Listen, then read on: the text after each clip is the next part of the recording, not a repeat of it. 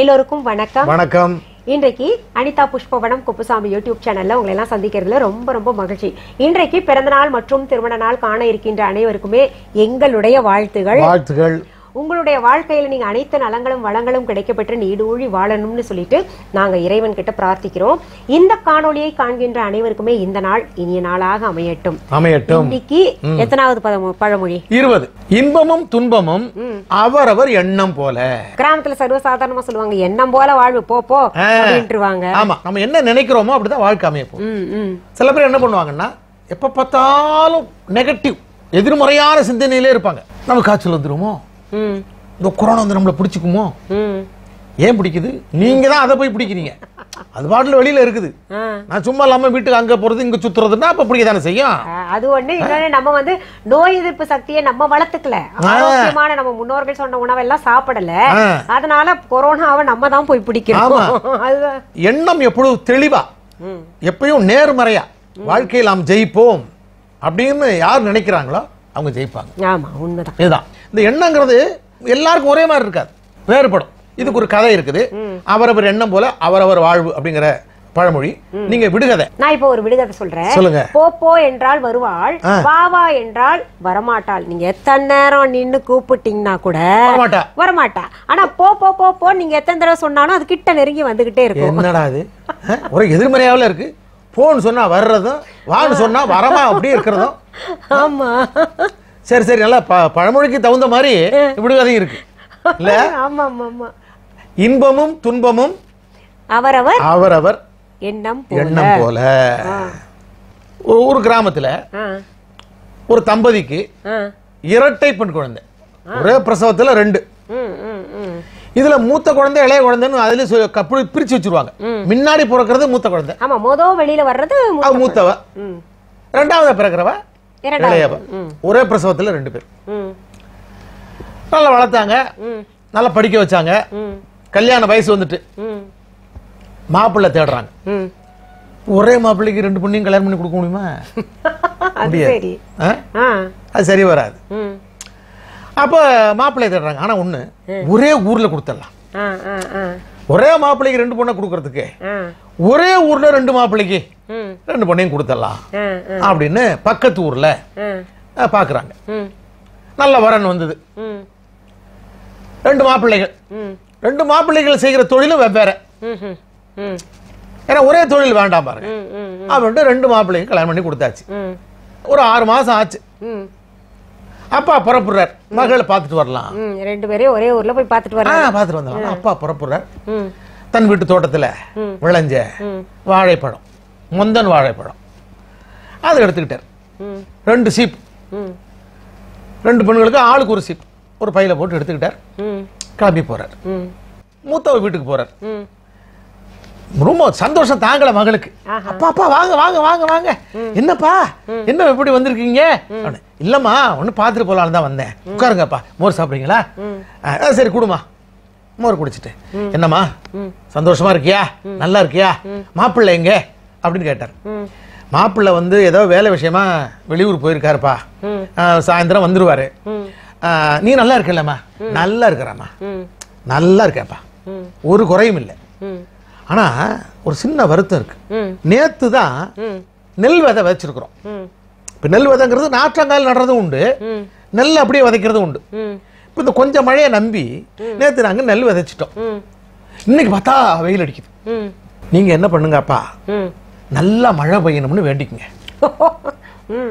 இந்த வெயிலுக்கு மூணு நாள் வெயில் அடிச்சா அப்படியே கருவி போயிடும். நெல் முளைக்காது. அதனால மழை வேணும்னு வேண்டிங்கப்பா உன் எண்ணம் போலவே நடக்குப்பா. அப்படின்னு ஆசீர்வாதம் பண்ணிட்டு நானும் வேண்டிக்கிறேன்.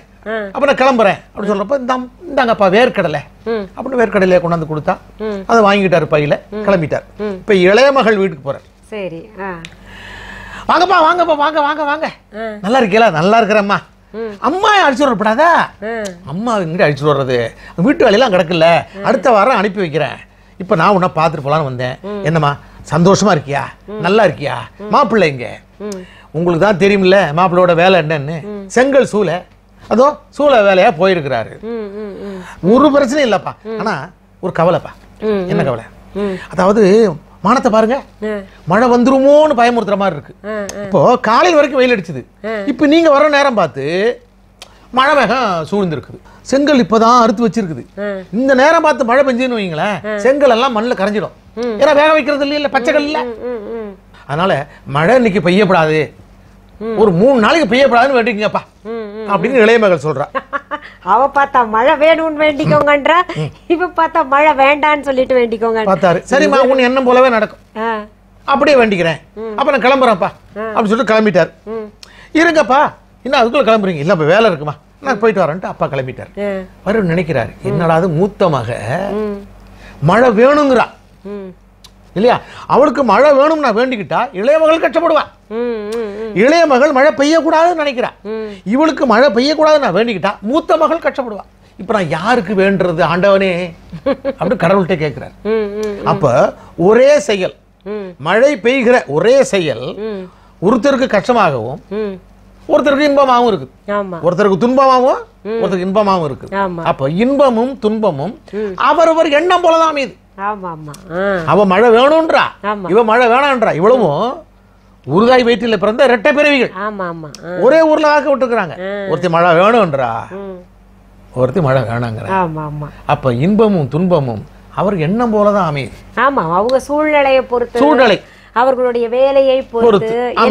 அப்ப ஒரே செயல் வந்து எல்லாரும் ஒன்றாக நினைப்பது இல்லை.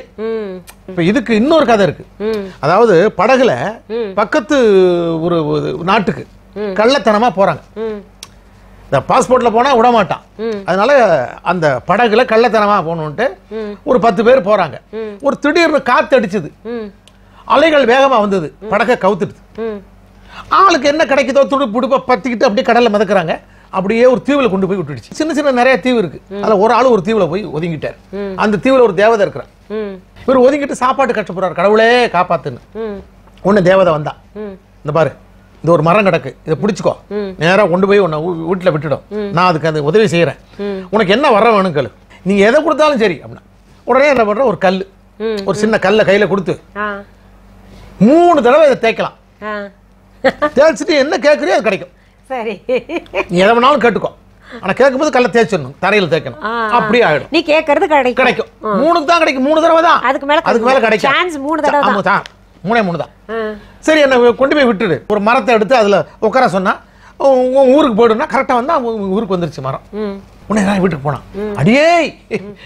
நான் வந்து பக்கத்து நாட்டுக்கு போகணும்னு நினைச்சானா? புயல் அடிச்சுதா? ஒரு தீவுல ஒதுங்கினானா? ஒரு தேவதை வந்து இந்த கல்லை கொடுத்து இதை தேய்ச்சி நீ என்ன கேட்குறியோ அது கிடைக்கும். அப்படின்னு சொன்னான். உடனே அவன் சொன்னான் அப்படியா? ரொம்ப சந்தோஷம். என் மூக்க பாருங்க? இவ்வளோன்னு இருக்கு. ஆ? அவலட்சணமா இருக்கு. இந்த பக்கத்து வீட்டுக்காரி மூக்காயி மூக்காயின்றா. என் மூக்க பார்த்து. எத்தனை பேர் கிட்ட நடிக்கிறாங்க தெரியுமா? எவ்வளவு அவமானமா இருக்கு. செத்துலாம் போல இருக்கு. நல்லா கடவுள் பார்த்து ஒரு வரம் கொடுத்துருக்காரு பாருங்க என் மூக்கு பெருசாகணும் அப்படின்னு சொல்லி. அழகாகணும்னு சொல்லியிருந்தாலும் இன்பமும் துன்பமும் அவருடைய எண்ணம் போல. கல் எடுத்தான். என் பொண்டாட்டி மூக்கு பெருசாகணும் அப்படின்னு தேய்ச்சான். உடனே மூக்கு இல்ல. பத்தமா பெருசு பாட்டுல கொண்டே போகுது. முகத்தை விட முகத்தை போல பத்து மடங்கு பெருசாகி போச்சு மூக்கு. ஐயோ ஐயோ என்னங்க இப்படி பெருசாயிட்டு வந்துகிட்டே இருக்க? ஏங்க இந்த மூக்கு சின்னதா ஆகணும்னு வேண்டுங்க மறுபடியும் இன்னொரு இன்னொரு. ரெண்டாவது சான்ஸ் உடனே எடுத்தான் கல்ல. என் பொண்டாட்டி மூக்கு சின்னதாகணும் அப்படின்னு தேய்ச்சான். அப்படியே போய் இருக்கிற ஏற்கனவே சின்னதா இருந்தல அதை விட குண்டு மணி அளவுக்கு சின்னதா போச்சு. இப்போ இன்னும் விகாரமா போச்சு. சரி. ஒப்பாருக்கு ஆரம்பிச்சிட்டான் ஐயோ முதல்ல இருந்ததும் பரவாயில்லையே. இப்போ அதை விட சின்னதா போச்சு நான் என்ன செய்வேன்? பழைய மூக்கே வேணும்னு வேண்டுக்கோ அப்படின்னா உடனே கல் எடுத்தான். என் பொண்டாட்டிக்கு பழைய மூக்கே வேணும்னு தேய்ச்சான். மூணு ஒரு மூக்குக்காக அற்புதமான மூணு சான்ஸ் விட்டுட்டானே. போச்சு. நாலாவது அங்க தேய்க்கிறது அப்பதான் ஞாபகம் வருது. ஐயோ மூணு தானே நாலாவதா? எனக்கு நிறைய காசு வேணும்னு தேய்ச்சான் எங்க கல்லு தான் தேய்க்குது காசு வரல மூணு தானே இன்பமும் துன்பமும் அவருடைய எண்ணத்தை பொறுத்து. அது ஒரு ஒரு வாய்ப்பு கொடுத்ததுல கடவுள். அதை பயன்படுத்திக்க தெரியுதா? அந்த எண்ணம் எங்க போகுது? எண்ணம் எப்பொழுதும் தெளிவாக இருக்க வேண்டும். எப்போதுமே பாசிட்டிவ் அதாவது நேர்மறையான எண்ணமா இருக்கணும். நம்ம நல்லா இருப்போம். நம்ம குழந்தைங்க நல்லா பிடிப்போம். நம்ம நல்லா வாழ்வோம். இல்லையா? அப்படிங்கிற ஒரு நேர்மறையான எண்ணத்தை நீங்கள் வளர்த்து கொண்டால் நல்ல வாழ்வு வாழ்க்கையில எப்பவும் இருக்கு. வாழ்வு வெற்றிகரமான வாழ்வு கிடைக்கும். நம்ம அடிக்கடி அதுதான் நான் சொல்லிக்கிட்டு சின்ன சின்ன விஷயத்துக்கும் எல்லாம் பயப்படுறாங்க. அங்க அப்படி சொன்னாங்க இங்க இப்படி சொன்னாங்கன்னு சொல்லிட்டு ஆ. அப்படியெல்லாம் பயப்படக்கூடாதுன்னு தான் அடிக்கடி சொல்லிக்கிட்டு ஆ. சரி நல்ல கதை ரெண்டுமே. இப்ப நான் சொன்னேன்ல அது மறந்துட்டீங்களா? அப்படி மறந்து- சொல்றேன். போ போ என்றால் வருவாள் வா என்றால் வரமாட்டாள். படிக்கவே இல்லை. ஆனா கூட அழகா தெளிவா படிக்க தெரியாதவங்க நம்ம சொல்ல முடியாது அவங்கள. ஏன்னா அனுபவ படிப்புல தேர்ந்தவர்கள். அனுபவ படிப்பு தாங்க வேணும். வாழ்க்கையில. ஆனா இப்ப எல்லாம் படிக்கிறாங்க. நிறைய. பாத்தீங்கன்னா நிறைய டபுள் டிகிரி ட்ரிபிள் டிகிரி எல்லாம் நிறைய வாங்குறாங்க. இது நம்ம முன்னோர்கள் சொல்றேன் நான். இன்னைக்கு இந்த பழமொழி கதை பகுதியில நம்ம நல்ல கதைகள் பார்த்தோம் இல்லையா ரெண்டு நம்முடைய வியூவர்ஸ்ல ஒரு சிலர் என்ன சொல்லியிருந்தாங்கன்னா போன தடவை நம்மளே விடுகதை சொல்லிட்டு நம்மளே விடை சொல்லிக்கிட்டோம் இல்லையா. அதுல ஒரு சிலர் சொல்றாங்க எங்களுக்கு கொஞ்சம் கொடுங்களேன் அந்த. வாய்ப்பை. நாங்க சொல்றோம் சிந்திக்கட்டும். சொல்றாங்க. நீங்க தான் விடை வந்து கமெண்ட்ஸ்ல எழுத போறீங்க சரி மீண்டும் அடுத்த பதிவுல வேற ஒரு நல்ல தலைப்போடு உங்களை எல்லாம் சீக்கிரத்துல சந்திக்கிறோம் அது வரைக்கும் நன்றி வணக்கம்